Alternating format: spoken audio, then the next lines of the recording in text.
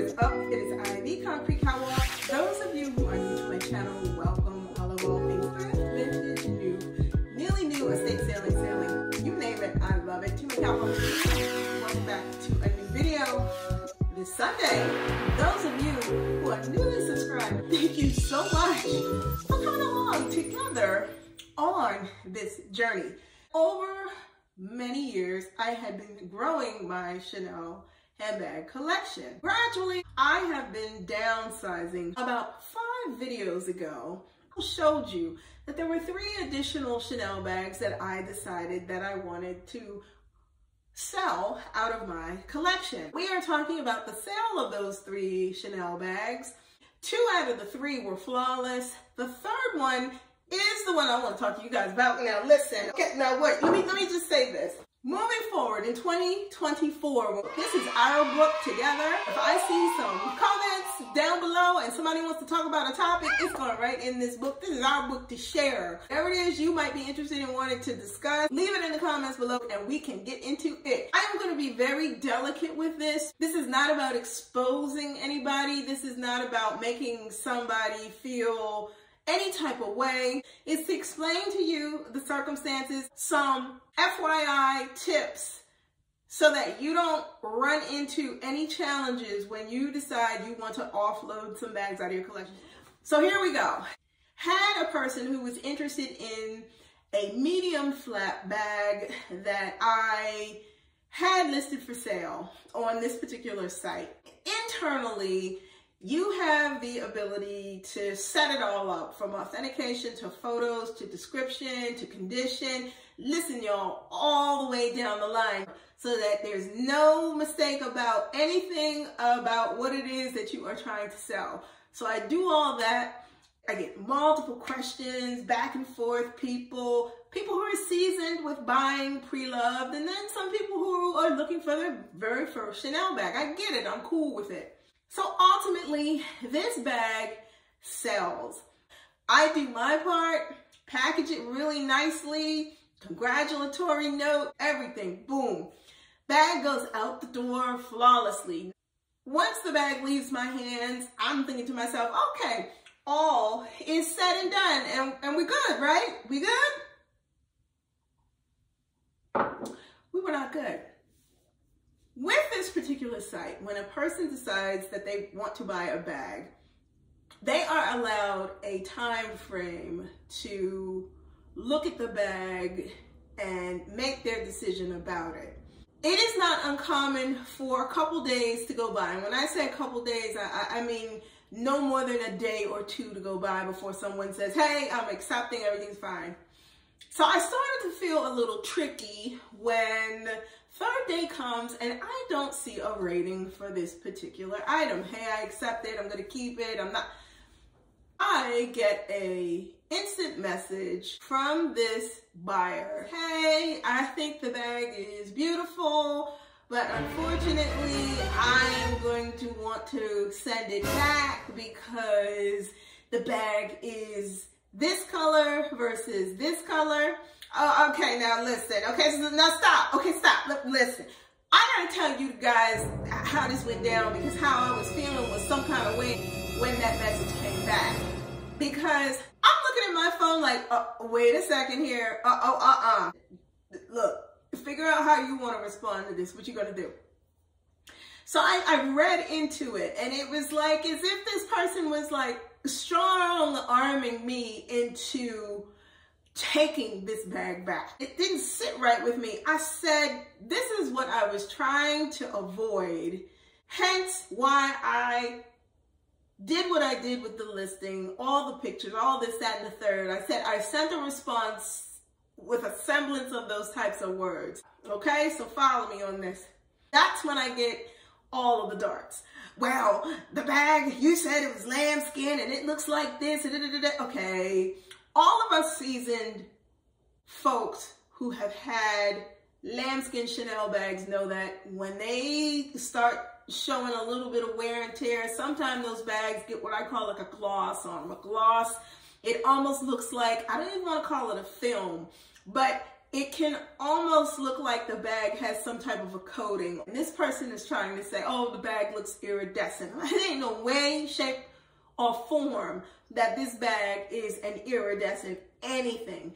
Number one, that is why when I decide that I want to put any Chanel bag, whatever kind of bag, that it goes through authentication services, but more about that later. So I send the response and I say, well, no, this is a lambskin bag. It's been well loved, hence all the pictures.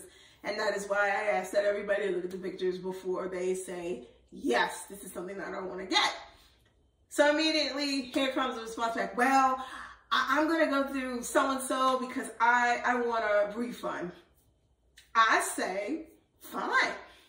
Whatever you have to do, it will ultimately be up to them to make the decision.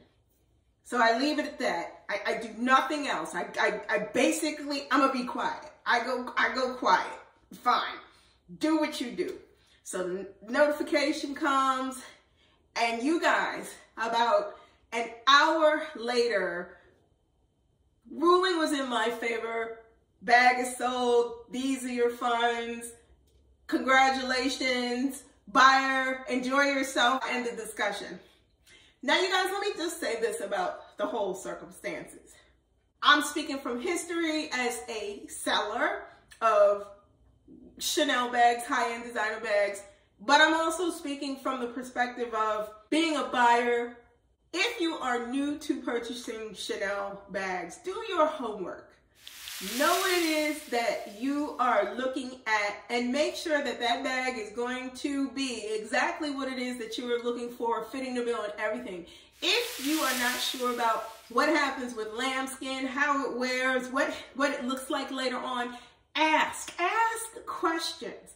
Ask to jump the gun and to buy something and you get it and it is not what it what you thought it was going to be because you think one way and it's looking another way but it's been explained all the way out from said description that this is exactly what it is and what you're going to get and then on top of that reviewed and authenticated twice over it is going to be what it's going to be the other part as a seller I have a responsibility to spell everything out when I am selling something that can get up into price points that those bags can get. You guys know how I feel about pricing pre-loved bags.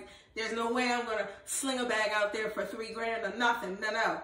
But there's also no way that I'm gonna send the bag out there and sit it at a price point and not spell out everything that is going on with the bag. The good, the bad, the ugly, the indifferent, the buyer has a right to know, which is why I'm very methodical when I decide that I want to list a bag to sell and make it very clear to the potential person that could be owning the bag that it's going to be X, Y, Z, and P. Third thing I want to say is this. If a message comes back to me and it is one in which I feel like it is almost pushing me to force of you're going to accept this bag back because I said so. Uh, uh, uh, uh.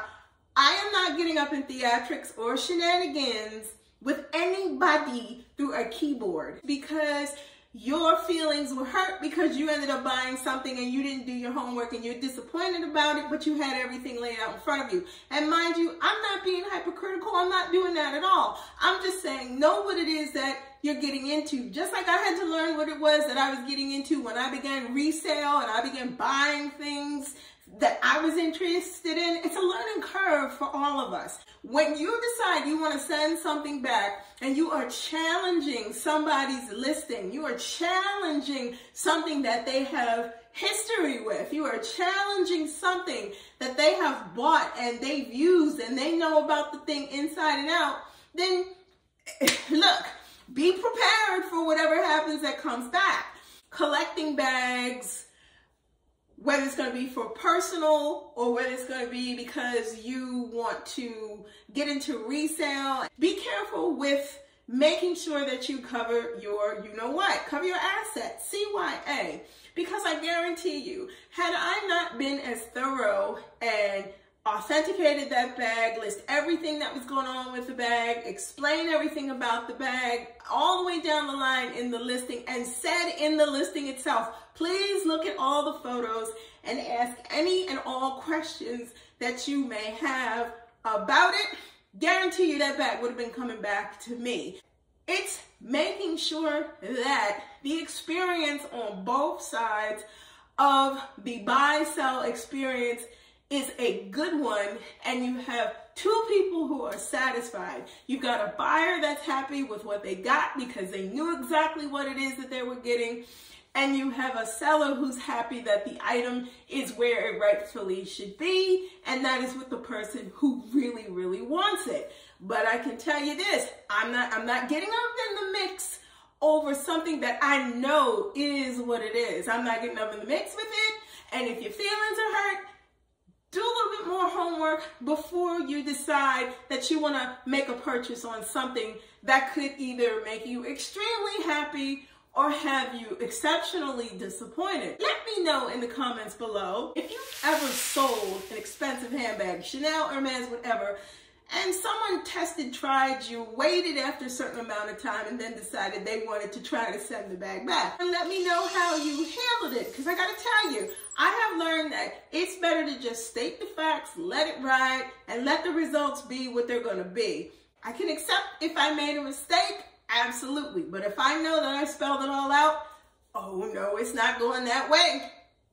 You guys, if you do not want to miss out on anything that I post, like, comment, and subscribe to my channel. I post videos every Sunday, so if you do not want to miss out, you know what to do. Tap that and you'll receive notifications each time I post a new video. Links to my socials will be in the description box below. You can head on over to Poshmark, check out my closet. I am Concrete Catwalk on the Poshmark. If you see anything there that you are interested in, please feel free to leave me a message there or you can head on over to IG. I am Catwalks Concrete on IG. Feel free to DM me there as well if there's anything that you see that you're interested in. Thank you so much for stopping by this week. Be safe. See you all next Sunday. Bye for now.